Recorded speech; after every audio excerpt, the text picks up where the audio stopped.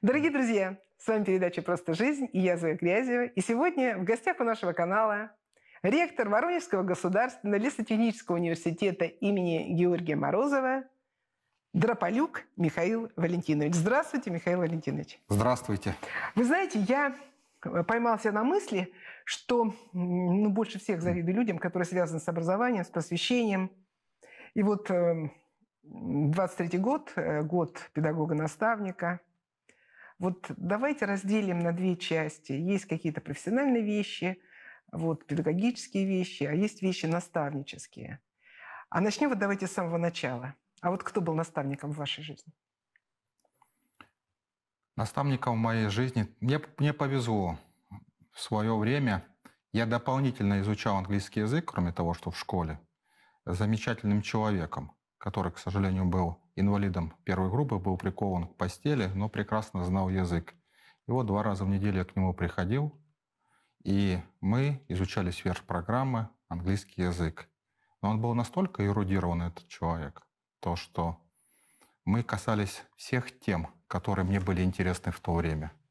Как устроена экономика школьнику, что такое политэкономика, какие процессы происходят в обществе. И мы после занятий еще долгое время каждый раз на эти вопросы он мне давал ответы.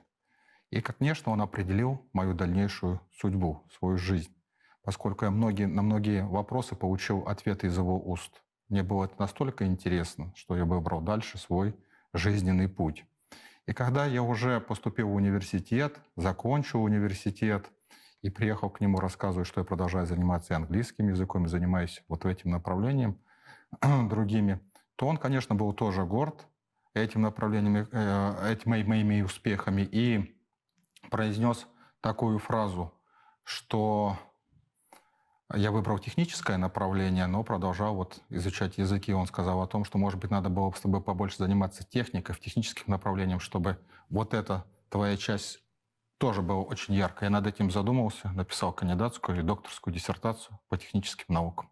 Вот вы знаете, это вот э, человек, ваш, как вы звали? Я его звал дядя Саша, дядя Саша. поскольку он мне позволял вот дядя так Саша, всего. Да, дядя Саша э, э, сыграл в вашей жизни какую-то роль такую очень близкого, теплого да. человека, да? Вот скажите мне, скажем так, это было в 15 лет или в 17, то есть когда вы выбрали свой жизненный путь? Это было немножко, немножко позже поскольку я связываю выбор жизненного пути именно с профессией да. и с университетом. Это, наверное, был 10 класс, когда я очень сильно задумывался о том, что э, будет дальше, какой вуз выбрать. И тут мне встретился еще один мой человек, мой родственник, тоже мой дядя, но уже родной – которой я посоветовался, и он мне сказал, мне не всегда не хватало, чтобы в моей команде был хороший механик. Поступай вот связанное что-то с механикой, выбери это направление. Я знаю, что у вас автодело, да? Это да, была первая да, специальность. Да, поэтому и я прислушался к этому авторитетному человеку, и для меня, конечно, это сыграл решающий выбор, и я выбрал вот направление, связанное с техникой. Вот скажите мне, я вас э, ну, достаточно давно знаю, но все-таки достаточно мало знаю. Вы относитесь э, себя, относите себя э, к людям, которые называются баловень судьбы и счастливчик? Нет, ни в коем случае. Да? Абсолютно. Абсолютно. Очень часто, да, всегда, наверное, приходилось что-то преодолевать. А я думаю, что под определение баловень судьбы Конечно, что попадает, все легко. что все угу. легко. Нет, легкости не было никогда. Угу. Всегда все давалось очень и очень непросто зачастую очень сложно. И когда усматриваешь, какие события происходили, думаешь, ну как ты через это все прошел? Как тебе хватило сил преодолеть это? Поэтому к этому Ну отнош... вот скажите, вот я себя отношу к людям, которые вот там в седьмом классе уже были достаточно взрослые. А вот а э, вы вот молодой человек, вот э, вы на сколько лет себя ощущаете? Взрослость, она определяется не только возрастом, конечно, ощущением. Конечно, мы сейчас ощущениями да. говорим, конечно, я И знаю, мне всегда всегда было в любом возрасте, с самого детства, было приятно общаться с людьми старше себя. Ну, вот то же самое. Всегда. Я как бы заглядывал в будущее, что будет происходить потом. И находил ответы на многие вопросы, общаясь со старшим поколением, вникая в те вопросы, которыми они живут, что их беспокоит. И мне это всегда было очень интересно. Я всегда не, не, никогда не упускал возможности именно со старшим поколением пообщаться. Давайте все-таки сперва начнем. Итак, люди среднего возраста, 30-40 лет. Кто они, что они? Среди ваших знакомых, среди ваших друзей. Есть ли у вас волнение по поводу вот этого костяка возрастного? Мне, может быть, отчасти будет просто говорить, э, даже не о своих знакомых или друзьях, а о тех студентов, которые у нас учатся. Я веду в группах который учится заочно. Угу. И вот очень только, интересно, только прошла интересно. сессия, и ребята приехали именно такого возраста, даже, может быть, даже чуть постарше. Угу. А, разная ситуация. Я бы к данной категории применил, что вот э, где-то немножко этим людям не повезло свое время. Почему? Потому что они не смогли получить образование. Мы касаемся этого. И когда я выступаю перед ребятами, которые в юном возрасте, я привожу эти примеры. То, что вот человек не получил что-то 40. Потом он догоняет. А потом он догоняет. Я встречаюсь с этими людьми, которые Мгм. догоняют. Мгм. Но в, этом, в этой гонке есть прекрасно, что человек тянется к знаниям, ему это нужно и интересно. И он в университете, находясь в аудитории, впитывает все. Понимаете, такая жажда тех, кто приезжает как к приятно знаниям. это слышать. Да. Как приятно это И вы слышать. представляете, как приятно заходить в эту аудиторию. Это не рутинно для них, как для студентов, которые вот закончили школу, поступили и живут в этом. Ну, еще одна лекция, еще одно занятие, еще Мгм. один человек пришел к ним в аудиторию. Они воспринимают совершенно по-другому. Они попадают в другой мир. И они хотели бы этим То есть миром мотивация колоссальная. Дайте на- знания. насладиться общением. Им не хватало, они хотят дышать этим воздухом. Они не ощущали себя студентами, никогда ими не были. Вот они стали. И вот они находятся в этом. Хотя на две недели они приезжают на сессию, да, Ну, это заочники, да. полгода, заряда. Да, за- заряда. Но вот те ребята, которые приезжают, которые серьезно к этому относятся, с ними очень приятно общаться. Получаешь колоссальное удовольствие. Я всегда жду не с нетерпением этого общения, поскольку выходишь с аудитории, не только ты им отдал энергию, но взял что-то Значит, этого. здесь все хорошо, а теперь там, где проблемы. Итак, э, я знаю, что у вас э, маленькие дети. Вот давайте говорить о возрасте 12 лет. Я бы не сказал, что проблема. Я бы взял возраст 12 и чуть старше. Конечно, Такой э, переходный. старшие классы, Да. да. Да, вот когда вы мне задали вопрос, кто был наставничком. Мгм. Я очень с любовью, к уважением отношусь к своим родителям, но, к сожалению, я не мог вам, честно отвечая на этот вопрос, сказать, что именно их мнение повлияло на меня, на мой выбор. Я привел совершенно двух людей, которые не относятся к родителям. Мгм. И также и у молодых людей. Каждый раз, встречаясь с родителями, с молодыми людьми, я ощущаю то, что родители в данном возрасте не всегда являются тем авторитетом, который они, может быть, хотели. И это не зависит от воспитания, это не зависит ни от чего. Просто вот такой переходный период, когда тоже уже человек считает как данность мнение родителя, потому что слышит его по каждому поводу, каждый день какое-то мнение.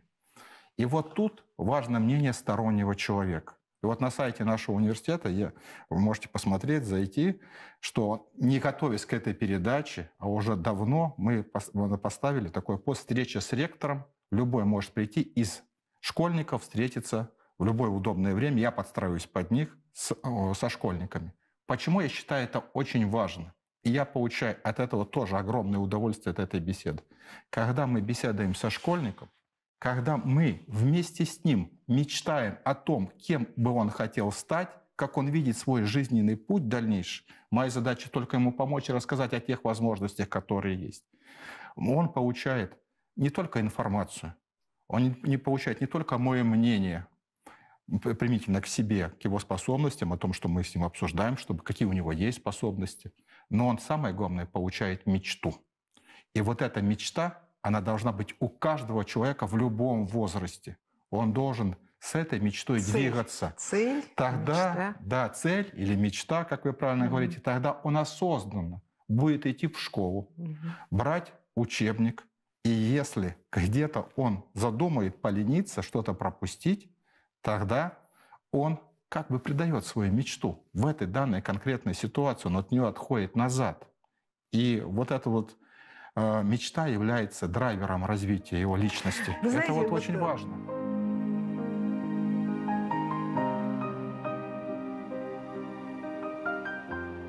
Вы знаете, вот ну, слово «лесное хозяйство», оно, мне кажется, такое благородное-благородное какое-то слово. Вот эм, если брать э, ну, среднестатистическую какую-то группу, да, вот э, скажите, что это влечение к лесу, или это просто желание получить там, ну, экономическое или какое-то образование. Вот есть ли какие-то э, мотивировки такие, какие-то, знаете, внутренние, чувственные? Есть ли они? Вот, ну, как в мединституте. Вы знаете клятву Гиппократа. Там хоть на каком-то факультете, да, но ты понимаешь, ты хочешь спасать людей. Да, или там ветеринары, ты хочешь спасать животных. Так вот, мне кажется, у вас вот это слово, я, ну, к сожалению, мало знаю, чем да. вы занимаетесь, да, но тем не менее. Зояковна, у нас 72 направления подготовки сейчас. И, конечно, лесное направление, оно в названии университета у нас ну, высвечено, и вопрос ваш понятен.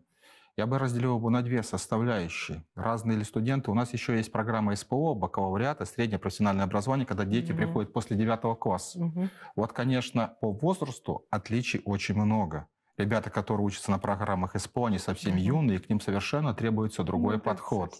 Да, а там уже, когда бакалавриат, уже более осознанно, ребята уже повзрослевшие на этих направлениях учатся. И я часто интересовался тем вопросом, который вы мне задали спрашивал у разного среза поколений, у старших поколения, которые пришли в университет, давно уже стали профессорами, добились, что их приводило именно в эту специальность. Большое, старшее поколение проводило большое уважение к работникам лесного хозяйства.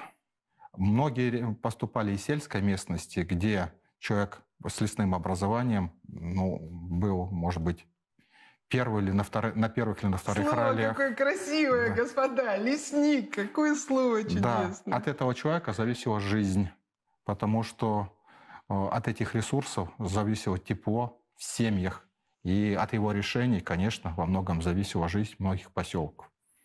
Когда мы уже обобщаемся с, молодым, с молодыми людьми, лесное образование, лесная наука шагнула вперед – и теперь, когда мы выступаем перед студентами и мотивируем их, рассказываем, чем они будут заниматься, им же надо тоже рассказать, угу. что фактически они будут спасать планету. Потому что от лесных ресурсов зависит судьба человечества. Вы знаете, мы сейчас реализуем лесоклиматические проекты, боремся с потеплением климата через реализацию карбоновых полигонов. Ой, как да. интересно. А, поэтому сейчас ребята, которые поступают на лесное дело, мотивируем то, что вы будете заниматься совершенно новыми подходами. Вы будете изучать растения с точки зрения их быстрого роста и развития. Вот как у нас тополь С-38, который угу. поражает своими темпами развития. С помощью этих растений вы будете создавать такие насаждения, которые будут позволять человек, человеку дышать, а, а планета Помогать будет человеку, а я очищать планету. И Боже спасать мой, планету. Спасать, поэтому, друзья, послушайте. Поэтому, Спасение планеты, мы да, надеемся в настоящих вот, сильных вот руках. Это, вот эта вот мечта, это, конечно, большая мечта. Спасти планету, сделать жизнь людей лучше, дать возможность человеку дышать.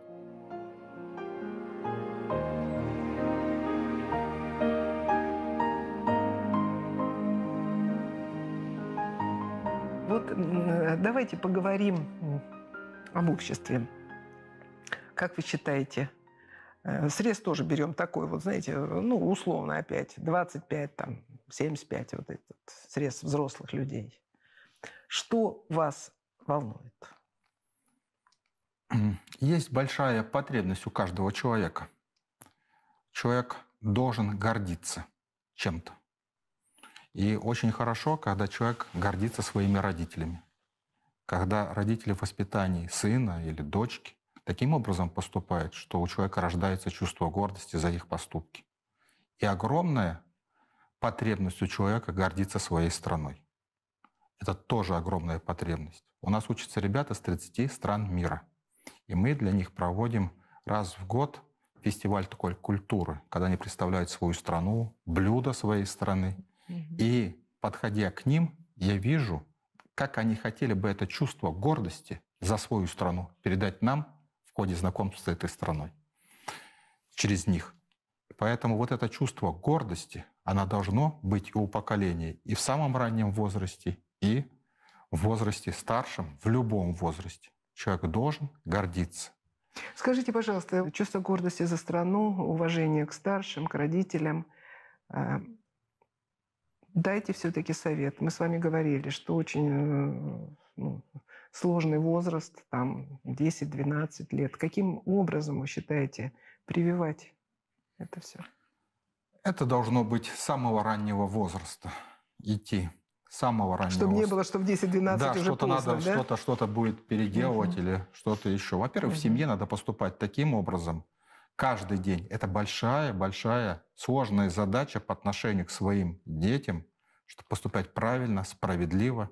И все во многом идет из семьи. Просто человек не может найти других примеров. Воспитание – процесс созерцательный. И в семье человек созерцает то, ту модель поведения, которую он будет распространять на других. Просто других примеров быть не может. Они самые близкие и находятся рядом. И второй процесс созерцания должен быть в классе, в школе, в университете. Он тоже должен созерцать. Поэтому, когда в аудиторию заходит профессор, это должен заходить величина, чтобы человек рождал... Это очень хорошо вы повернули. У меня не было в планах поговорить об этом. Вот уважение к преподавателю, да, э, как вам сказать, ну, пиетет какой-то, да. Каким образом это? Как оно сейчас? Ведь вот это некая расхристанность, так сказать, легкость. Просто когда преподаватель начинает говорить в аудитории, если Мгм. аудитория настроена, он должен поражать своими знаниями, своим опытом. Он должен поражать тем, что говорит. Может быть, удивлять где-то. Чтобы он был источником вдохновения для ребят. Скажите, теперь я более провокационный вопрос задам. Ну, он вообще касается, ну, как вам сказать, кадры решают все, говорили Да. в прошлом. Вот, э, скажите мне, есть ли проблема с кадрами? Проблема с кадрами есть постоянно. Может быть, в высшей школе она не так отмечается. Но вот за последнюю неделю у меня было несколько звонков, и те, кто приходил со среднего профессионального образования, где не хватает преподавателей математики и физики, к примеру. Школьные учителя, с которыми мы встречались, директора говорят, тоже кадровый голод есть определенный. То есть кадровый голос существует? Существует. И к нам обращаются, говорят, не могли бы вы дать хотя бы, может быть, вахтовым методом, это бы вот с Мгм. другого города ре- приехали бы, может быть, ваши преподаватели провели занятия, но так случилось. Очень интересно, очень. То есть, итак, мы возвращаемся к той же теме педагога-наставника.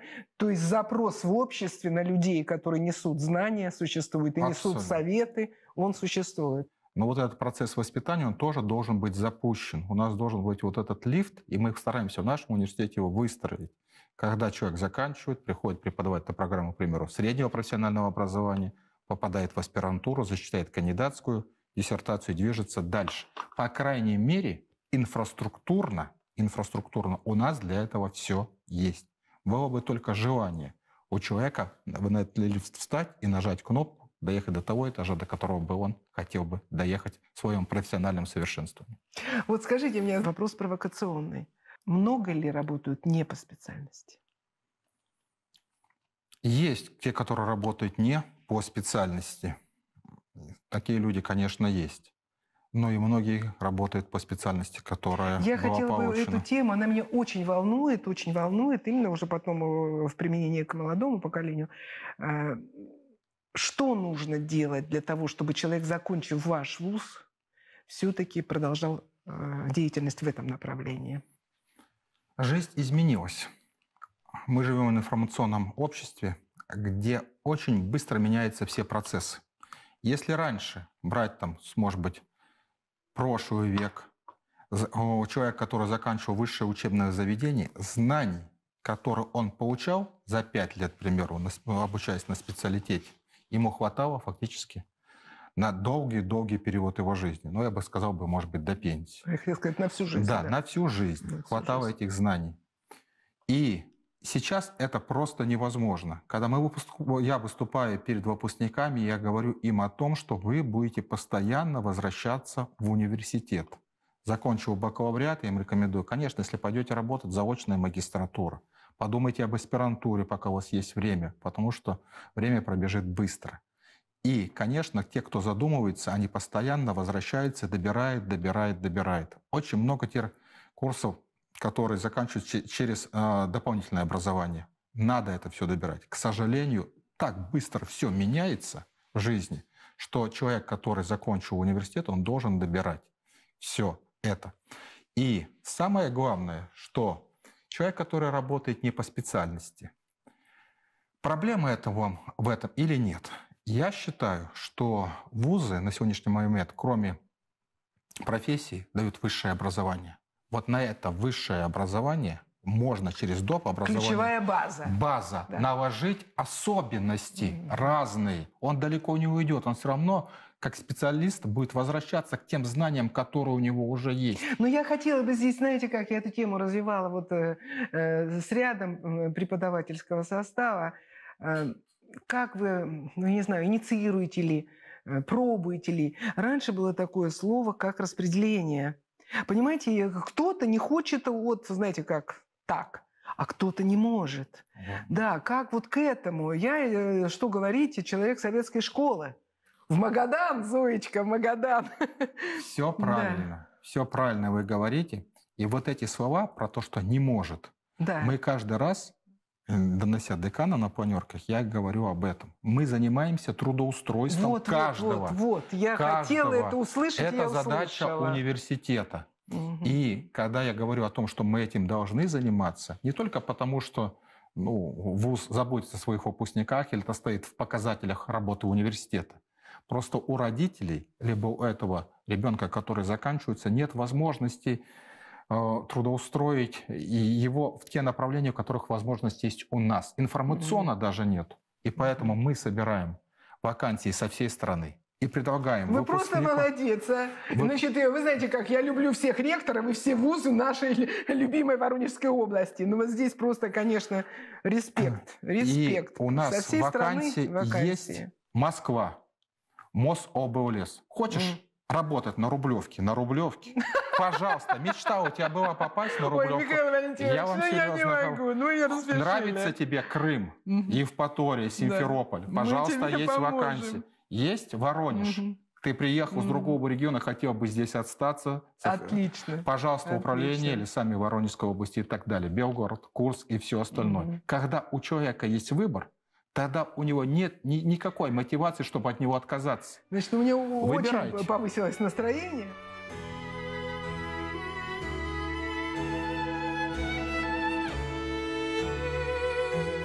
Значит, а теперь давайте о личном. Я знаю, что такое университет. Я все-таки 9 лет работала в университете. Э, вот. Э, я знаю, что вы более чем занятой человек.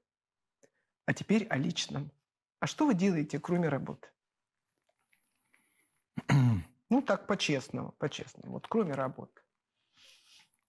Диван, телевизор, книга, рыбалка, охота. Понимаете, э, когда служишь университету, мозг очень сложно перенастроить на что-то другое. У меня, по крайней мере, это не получается. Может быть, это, это является и недостатком. Потому что переключаться все-таки надо. Конечно, конечно. Что бы ты ни делал, все равно в голове возвращайся и не покидаю те задачи, которые ты должен решить. И ты ищешь их решение. Они даже приходят, может быть, и во сне, потому что мозг продолжает думать в этом направлении. Поэтому мозг, к сожалению, не отключается. Можно заниматься активностями разными, спортом. Я люблю играть в бомбинтон. Очень интересная как игра. Да. Правда? Приглашаю вас Правда, как поиграть интересно. вместе. Вы знаете, вы первый мужчина в моей да. жизни, кто так... Ну, я так понимаю, это в спортзале же, Да, в спортзале, сетка. В спортзале, да, да, у меня да. знакомых таких нет. Да, очень поэтому интересно, очень спасибо. интересная динамичная игра, которая позволяет в игровой форме совершать огромное количество движений ну, на разные группы мышц. Да. Теннисом, ну, раз это рядышком, да, это да, рядышком. Я... Мы зрителям расскажем. Пришли, да. блин, тренировку. Да. Значит, э, вы знаете, заканчивая нашу передачу, мне всегда хочется, чтобы вот вы, вы такой позитивный, хороший, интересный человек, э, ну, обратились вот к жителям нашей страны. Как надо, что надо, какие советы. Вот уроки от вас лично каждый раз встречаясь с молодыми ребятами, о чем мы говорили, со школьниками, я как бы заглядываю в будущее через их глаза, через их желания, через их потребности. И мне бы хотелось, чтобы эти молодые ребята, не только по Воронежской области, как вы сказали, по всей стране в жизни встретили человека, наставника, который им подарил бы мечту. Благодаря своему профессиональному по своей профессиональной деятельности, своему опыту дал нужный совет, как идти по жизни, в какую сторону. И чтобы этот совет привел молодых ребят к успеху, чтобы спустя много лет они могли сказать в своем сердце этому человеку большое спасибо за то, что для них было сделано. Я пожелал бы каждому молодому человеку в жизни обрести такого наставника в семье или за ее пределами, в школе, в университете, может быть, где-то еще, мнение которого для вас стало бы дорого, а самое главное, жизнеопределяющим. И вот с этой мечтой, чтобы вы шли и достигали, чтобы вы никогда не предавали свою мечту, а шли к ней, побеждали, совершенствовались, и тогда вами уже будут гордиться ваши дети, внуки и правнуки. Дай Бог, чтобы так получилось. Спасибо. Спасибо. Э, дорогие друзья, а мне хочется обратиться ко всем. Вы знаете, в любом возрасте человеку нужен совет. Так сложилось. Мы, люди, не сам в себе. Ты с кем-то. Рядом с тобой советчики и попутчики, но их нужно и увидеть, и услышать. Будьте здоровы, будьте удачливы. Всегда с вами передача «Просто жизнь» я, Зоя Брезина.